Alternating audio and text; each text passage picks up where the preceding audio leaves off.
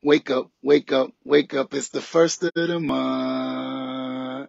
So cash your checks and come up. Hey yo, it's the good. It's your boy Super Kev. Welcome to another episode of the Super Kev Livecast season four. We on YouTube. It's the first of the month. And if you don't believe me, we on YouTube.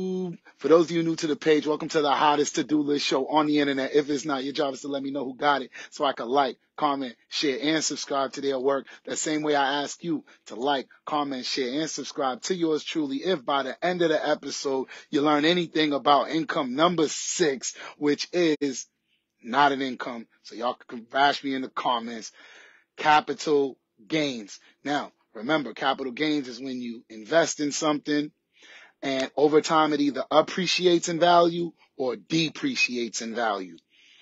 Now, when you're serious about the seven forms of income, you like the assets that appreciate, but some of us have habits that are actually liabilities, and I want to speak about one of them today.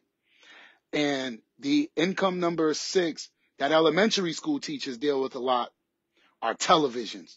Now, quick story time. I don't really like watching movies because I talk too much.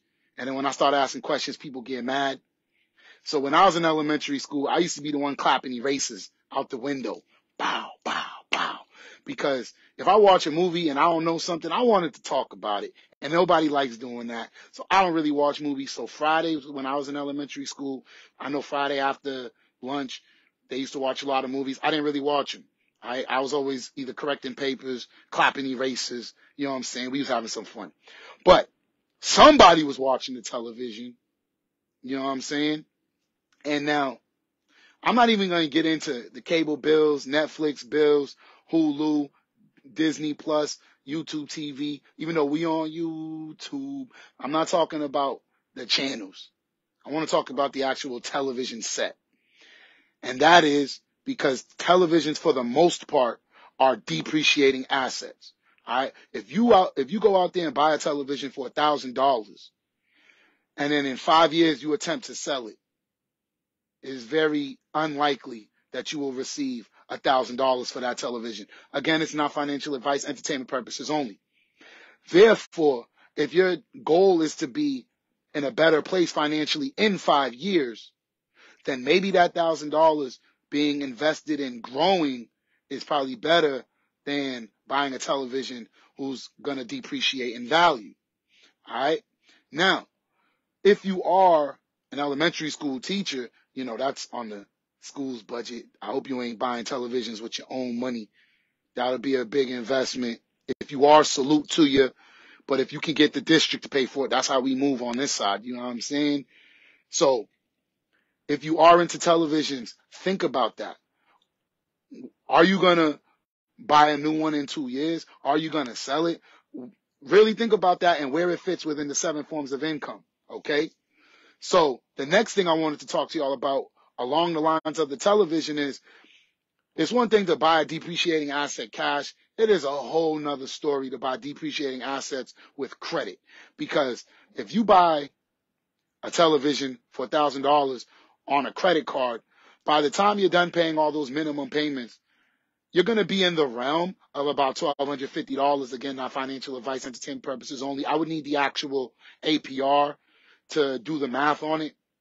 But just think of it as you buy a television for a thousand, you end up having to pay 1200, but then when you go to sell the TV, they give you 500. That means there was a big gap of you lost $700 just for holding that television. Now, was it worth it? Only you can answer that, not me.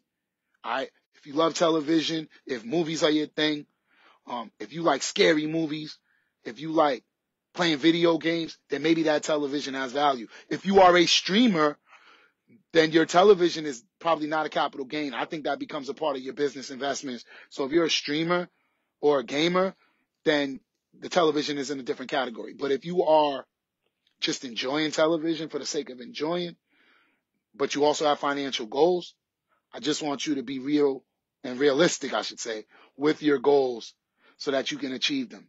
All right. So once again, if you are an elementary school teacher or anyone just enjoying my show, reconsider how many times you buy a new television.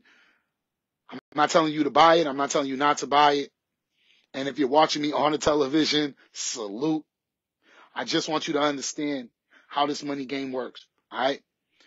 Now, before I go, remember we still have the promo for mastering one song free of charge to all of my subscribers out there. In order to be a subscriber, all you have to do is subscribe to my YouTube. Link will be somewhere in the comment section. Screenshot me that you um, subscribed.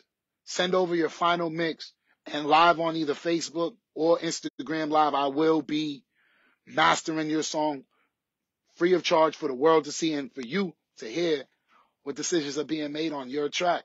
All right. Now we're flirting with 400 subscribers. Uh, this promotion will be running until I hit 500. Might be this year, might be next year. Who knows? All right. And on that note, it's your boy Super Kev. As long as I'm A live, there will be A live. And I don't care if the Red Sox are out the playoff picture officially. The Yankees suck.